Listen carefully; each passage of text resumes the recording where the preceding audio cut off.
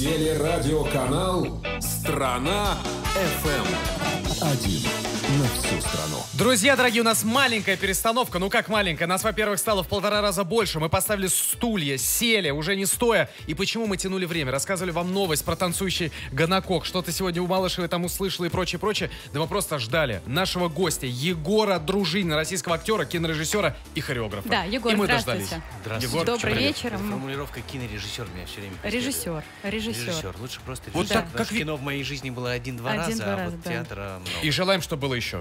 Если хотите. Если вы хотите. Если вы хотите, да. Егор, мы на самом деле очень рады вас видеть, э, Искренне слышать. честно. Да, еще такой повод. Мы сразу него начнем. Дело в том, что 21 июня в 14.00 э, на ВДНХ, да, если не ошибаюсь, состоится ваш э, спектакль «Без слов всюду жизнь». Да. Такая хореографическая постановка, правильно сказать, Нет, да? неправильно Всё-таки совсем. Это спектакль без слов, потому что там есть хореография, но это не балет. А, И артистов, пожалуй, вот актеров, Да. там участвует больше, чем танцовщиков. То есть это ни в коем случае не... эм, не пластическая постановка. Мгм. Это просто спектакль без слов. Там люди живут, но Да. не, произн- не произносят ни одного слова. Там постоянно играет музыка, поэтому какие-то вещи решены, решены через движение, но это ни в коем случае не... Это скорее, знаете как, э, воплощенные э, пластические внутренние диалоги и Мгм. монологи артистов. Да, я смотрела, между прочим, я в курсе. Ну, Но даже что же вы не тогда? успел, да, я не знаю, как правильно сформулировать. Но что интересно, этот спектакль э, благотворительный на этот раз, да? Да, То есть да. э, вы э, все вырученные средства даете э, в фонды, потому что идет такая программа сейчас. Ну да, это, э, собственно говоря, большой третий форум а, а, Социальных инноваций. социальных инноваций Да. регионов. Мгм. А, и я, если честно, не знаю подробностей, но вы знаете, в последнее время э, так много благотворительных программ и так много э, ну, вот подобного рода вещей, что ты иногда даже не успеваешь э, отметить, э, с кем именно сейчас и что именно сейчас происходит. Это не важно, по большому счету. Делайте доброе дело, да, да. раз, и во-вторых, в очень благородной такой приятной компании, там Мгм. будет еще несколько спектаклей, и эти спектакли тоже, э, э, Ну я да, мы уверен, расскажем. заслуживают Мгм. внимания зрителя. Э, да, и все вырученные средства от этих спектаклей, они пойдут в самый раз, в пять фондов, пять Мгм. благотворительных фондов.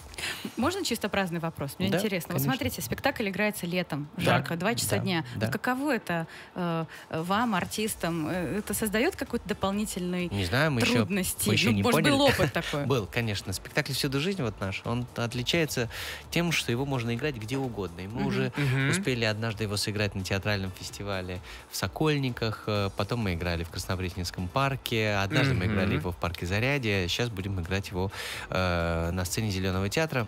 Но я думаю, что когда мы играем, мы меньше всего думаем о том, какая Где на улице как. погода. Да, Мгм. главное, чтобы дождь не шел. А, хотя можно попробовать и под дождем, еще не было такого опыта. А если говорить про зрителей, он быстро летит, этот спектакль. Мгм. Час 10 он всего лишь навсего хронометраж, а про- вот по внутреннему таймингу он проскакивает еще быстрее. И, Егор, все площадки, которые ты перечислил, они открытые. Да. А вот специально этот а, спектакль поставлен Нет, под ни в открытый? коем случае. То есть его можно также играть и Мы в его закрытых играем, Играем, как правило, да. в театре. Мгм. Просто, э, когда этот спектакль создавался, у меня было желание поставить универсальный спектакль. Спектакль, который существует вне времени, вне пространства. Настоящий театр. вне эм, как бы каких-то специфических проблем, который понятен каждому Мгм. э, и может быть сыгран везде, где угодно, не только там на любой площадке, Мгм, но и в мгм. любой стране мира. Друзья, у нас небольшая пауза. Чтобы Сейчас- наш спектакль продолжился, надо Да. его оплатить. Реклама, дорогие друзья. Ну, признайся, Лиза, вот ты Да. мне говорила перед тем, как Егор придет, сказал, я немножко волнуюсь. Вот ты Конечно, сейчас Егор, я волнуешься. вас обожаю. Я Может слежу. водички или кофе вам Да, да, да, теперь уже Егор. На самом деле за эфиром мы Егору предлагали, теперь уже Егор предлагает. Может, Друзья, слушайте, я ошибся. Я сказал, что пять благотворительных фондов. Их на самом деле гораздо больше. Это пять спектаклей, которые будут играться в Зеленом театре, а, а фондов гораздо больше. Егор, тогда еще раз даты. Я люблю, когда адресно. С чтобы люди- 19 по 21 наш конкретно спектакль. «Всюду жизнь» играется 21 числа днем. Июня. На Да. площадке. Зеленого театра ВДНХ. ВДНХ, 14.00. Супер. М, Да, 14.00. Да, в 2 часа дня мы выходим на сцену. Смотрите, вот сейчас э, у вас э, достаточно много проектов. Мы вас объявили как режиссер и хореограф. Вот режиссерские работы сейчас какие-то уже появляются новые, что-то готовите, есть чем поделиться и хватает Что ли времени ждать? на это? Ну, вы знаете, я просто не про все хочу рассказывать, Мгм. не Ну, про все да. могу рассказывать. Э, А вот про то, что я могу рассказывать, это с Мгм. удовольствием э, в Ярославле, в Волковском театре после Нового года, в районе марта месяца у нас выйдет мюзикл «Еврейское счастье». Композитор э, Игорь Зубков, а либретто мое, с- эм, э, стихи Евгения Ряшенцева, а э, эм, пьеса будет написана Сер- Сергеем Плотовым. Эм, И я думаю, что в большинстве своем, мне так кажется, весь спектакль будет представлен именно труппой Волковского театра. Если возникнет необходимость кого-то позвать, может быть, и позовем, но мне почему-то кажется, что театр э, настолько оснащен, вот актерский, я уже э, с ним имею дело не в первый раз, что они замечательно справятся. Э, потом у нас будет еще один спектакль. Я не знаю, правда, насколько можно и уместно сейчас о нем говорить, потому что это независимый театральный проект, он будет жить в определенном месте, в самом центре э, столицы. Вот я вот на вашем баннере практически это место вижу. Так, здесь, у в- нас здесь в Садовое районе кольцо. Сухаревки, да. Э, И еще два проекта у нас сейчас на МАЗИ. Э, Один связан с клоунадой, другой связан э, тоже с мюзиклом, но это, скорее всего, будет лицензионный мюзикл. Эм, И, но, тем не менее, это тот уникальный случай, когда я готов работать с э, лицензией. Обычно я не соглашаюсь на Мгм. подобного рода Мгм. вещи, мне не очень интересно, мне интереснее придумывать самому. Но тут такая интересная, прикольная история для детей и взрослых, что я надеюсь, что она э, всем придется по душе. А вам- Тоже не буду сейчас Ну, Но это хорошо. франшиза. говорить, что Мы да, просто... это Это франшиза. Это франшиза. Смотрите, а вам с кем вообще легче э, работать? э, с танцорами или с актерами танцующими? Вот это имеет Да нет, значение? ну тут это практически... И, и удобно работать с теми людьми, которые тебя слышат. Мгм. которые умеют предлагать, но при этом а, без наглости. То есть они Мгм. не считают, что тот вариант, который они предлагают, это самый правильный. Они все-таки идут за режиссером, но хотят ему помогать. Интересно работать с инициативными людьми. Интересно работать с людьми думающими, чувствующими. Эм, И вот я надеюсь, что в скором времени у нас появится своя площадка, Мгм. свое место. И в, эм, э, оно, возможно, появится на базе э, культурного центра э, в Строгино «Современник», и мы э, с Божьей помощью там, э, ну и с помощью города, конечно, э, сможем создать школу исполнительского мастерства «Шим», э, в рамках которой будет и танцевальная школа «Кет» команды Егора Дружинина, э, и там же мы будем играть спектакли, и я надеюсь, что те студенты, которые будут ходить в эту школу, они же станут и труппой э, этого центра, и э, я уверен, что вот они как раз с нашей помощью смогут сформироваться как такие уникальные артисты синтетического жанра. Мгм. Сейчас уже, по большому счету, театр настолько раздвинул свои границы, Так. что э, говорить о том, что необходим только драматический артист, или, например, только поющий артист, или только танцующий, невозможно. Э, все последние работы, вот театральные, которые сейчас приезжают, в том числе в рамках Чеховского фестиваля к нам, Ну да. а, они доказывают, что артист э, становится полноправным художником и пользуется всеми возможными средствами для того, чтобы органично и, главное, убедительно существовать на сцене. Ну что, и мы мультиформатные. После а, беседы песня, дорогие друзья. Скоро вернемся. Телерадиоканал «Страна FM». Один на всю страну.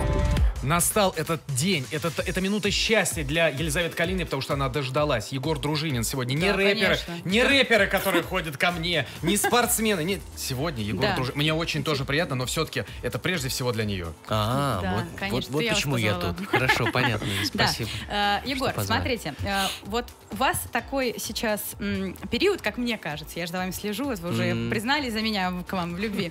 Э, У вас много всяких, в хорошем смысле всяких, телевизионных проектов и таких, может быть, даже бизнес, творческих проектов. Вот когда вы э, создаете, ну то есть, э, мне кажется, чтобы создать там спектакль, что-то еще, это нужно время, может быть, вдохновение, Да. что-то еще, какая-то тишина. Вот когда вы это У все меня делаете? нет никакого конкретного графика, к сожалению. Наверное, к сожалению. То есть я жду вот в этом смысле, конечно, нужна какая-то внутренняя самодисциплина, потому что очень важен тайминг.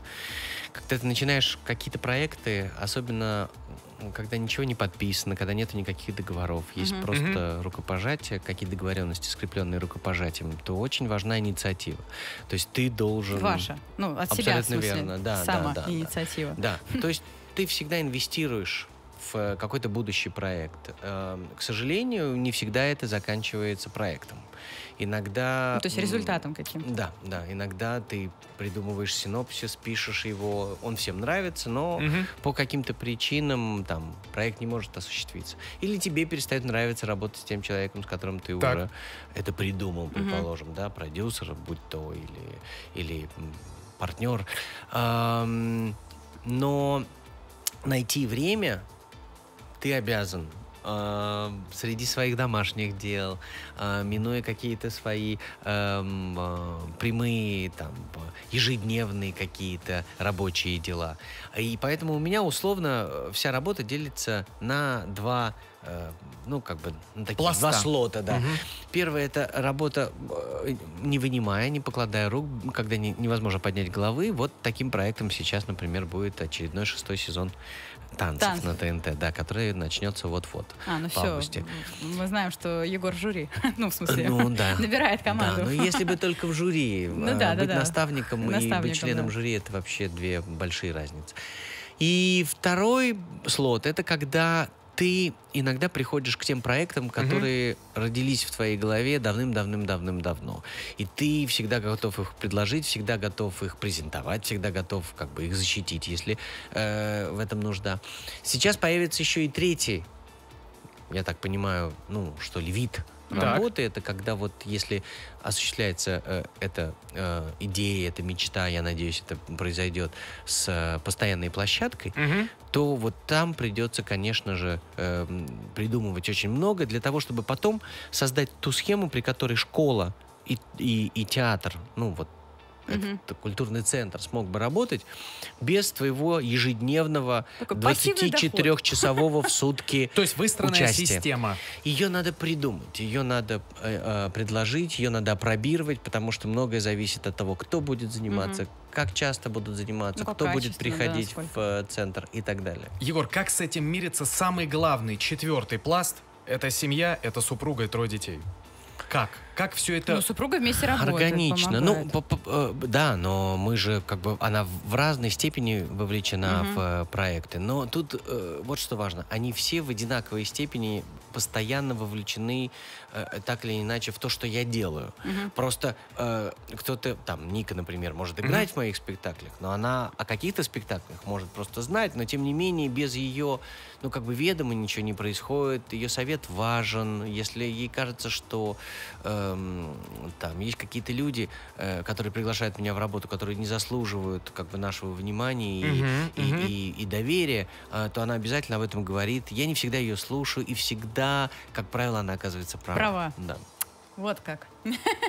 Интересно. Друзья, да, у нас небольшая музыкальная пауза. Сейчас вы можете задавать свои вопросы. 909-281-89-9. WhatsApp, Viber, SMS э, уже приходит. Не переключайтесь, озвучим, мы да. скоро вернемся.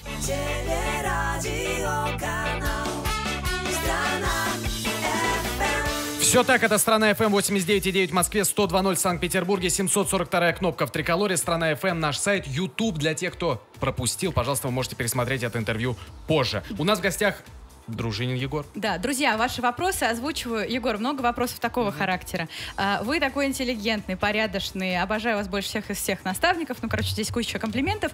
И вот серия вопросов похожих. Как э, справляетесь с конфликтами, которые в вашей сфере так или иначе постоянно возникают, конкуренции и так далее? И как все время быть э, на плаву, ну, я так понимаю, в хореографическом вообще бизнесе? Ну, как повышать квалификацию и так далее?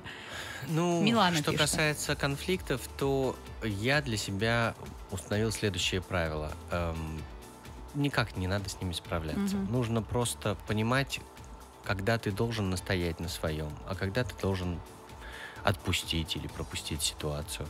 А, то, что мешает работе, или то, что мешает тебе Мгм. самому. Если ты понимаешь, что кто-то ведет себя некорректно, если ты считаешь чей-то поступок э, некорректным, э, с этической точки зрения неправильным, или, может быть, просто кого-то нужно направить, что-то подсказать. Мгм. Может быть, человек сделал э, не по злобе, а просто потому что Ошибся. недостаточно правильно справляется точно со своими там профессиональными обязанностями. Такое тоже бывает.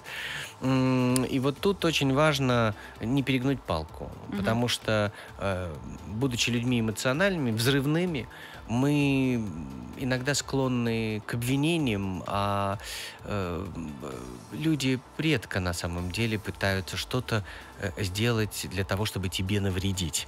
Есть и такие, конечно, безусловно. Ну, то есть намеренно вы Вот, имеете в виду, да? Вот с Мгм. ними, конечно, уже э, надо вести себя пожестче. Почему? Потому что у этих людей, как правило, есть такая привычка, если один раз у них получается свредничать, дальше они эту практику продолжают. Конечно, конечно. Поэтому зачем они это делают, для меня загадка, но, скорее всего, они таким образом самоутверждаются. Вообще, самоутверждение — это очень важный э, такой как бы двигатель нашей жизни, э, мотиватор, потому что большинство людей пытается найти себя, реализовать себя для того, чтобы понять, за что они сами себя могут уважать. И вот эти люди, они, наверное, могут себя уважать за то, что, принизив других, они сами себе кажутся больше, важнее. Э, Вот с ними я просто предпочитаю не связываться, потому что мне кажется, это не столько, эм, э, ну, какая-то, какой-то стиль жизни, это, это природа, это плохое воспитание, может быть, или дурной характер, или что-то в этом роде. Это не изменить, Мгм. скорее всего. Лучше их просто, как вот на дороге, лучше сумасшедших объезжать. Дай дорогу дураку. Егор, а ты взрывной? О, да, да. И, к сожалению, я не могу, э, ну, похвастаться этим качеством. Оно не всегда Полезно. полезное. Оно полезное в творчестве, да, безусловно. Особенно в исполнительском творчестве. Мгм. Я-то в основном за кулисами, поэтому вот эта способность эмоционально реагировать на какие-то вещи, она не всегда приводит к хорошему. А, Вот когда ты на сцене, да, это тебе дает объем, Мгм. кураж, Мгм, э, четкость в том, что ты делаешь, и амплитудность и так далее. Но в постановочной работе, да, кураж нужен. Э, Актеры понимают, когда э, постановщик не пассивен, когда он может вести за собой, Мгм, когда он инициативен, когда он умеет заразить тебя своей идеей. Они сразу чувствуют себя нужными. Мгм. И, и это действительно так. Есть режиссеры, которые удивительным образом э, не проявляют никакой инициативы. Они считают, что актеры и так сами по себе почему-то должны...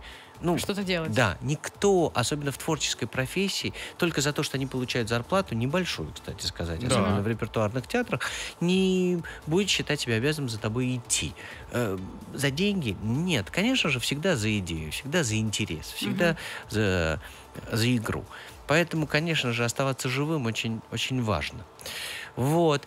А что касается второго вопроса, Повышать квалификацию. да нет, тут Быть дело плаву, вот, случая на в том числе. Конечно же, нужно быть хорошим профессионалом, но это очень все относительно. У нас мы только-только начали формировать шоу-бизнес, и, и, и вот такой хореографический мир на- начал танцевальный складываться Мгм, вне мгм, мгм. академических театров балетных только сейчас, вот-вот. У нас, вдумайтесь в это, в России, ну, буквально, может быть, 5-6 труп современного театра, о, современного танца, Танца, прошу мгм. прощения, и две-три из них находятся в Москве, а все остальные находятся Мгм. там в Екатеринбурге есть, в Перми есть.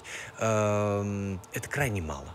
Это крайне мало, поэтому говорить о том, что нужно сделать для того, чтобы в этом бизнесе остаться на плаву, еще рано. Так сложились обстоятельства, что там я, там Алла Сигалова, э, Духова, э, вот эти имена были там э, на слуху всегда. А, а благодаря проекту танцы стали еще возникать какие-то имена и фамилии и запоминаться зрителям. И приятно то, что вот ребята, которые начинают танцевать, они э, делятся ровно на две категории. Одни как бы хотят подражать своим кумирам и, э, э, и тянутся к ним, что очень на самом деле приятно. А другие, наоборот, не признают никаких авторитетов. Им абсолютно плевать, такие. да, кто там. Мгм. Хотят строить. Нигель. Да, да, да. Они, они считают, что мы все попса. Такой А, old school уже. Да, да, да. Не, не old school, А, а, не именно school, попса. попса, Да, да, да. да. А, Ну, ты как хочешь это э, назови. Они, особенно ребята, которые э, Ну, формируются на таким, улице, да? ну, как бы в уличных таких Ага, ага, ага. альтернативных движениях танцевальных, они в основном, э, э, ну, смешно становится тогда, когда они э, сильно хая нас там в каких-то своих кругах, при этом приходят на кастинги танцев. Это действительно э, и смешно, и трогательно, и приятно. Друзья, небольшая пауза. Скоро вернемся. Егор Дружинин у нас в гостях сегодня на стране ФМ. Страна FM.